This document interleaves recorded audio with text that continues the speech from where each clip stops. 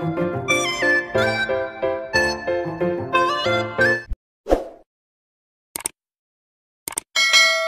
नया स्टॉक आ गया है, मद्रासी और पंजाबी कबूतर सारे। देख लो। एक से एक अच्छे कबूतर इसमें। सारे मद्रासी और पंजाबी हैं।